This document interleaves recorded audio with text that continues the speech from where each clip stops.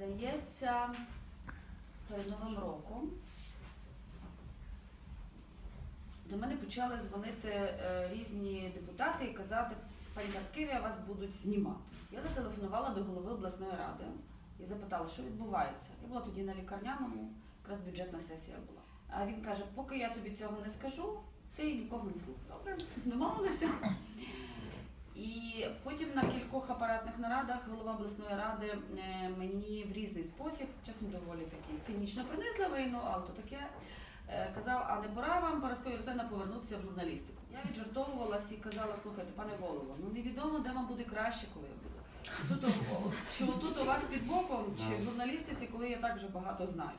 От, е, але це були такі різноманітні натяки. Потім мені наш депутат Роман Кизилна сказав, що він мав приватну розмову з головою ради, і голова сказав, що рішення щодо зняття Параски дворянин прийняте. Це було кілька місяців тому. Єдине залишається проблемним для нього людський аспект.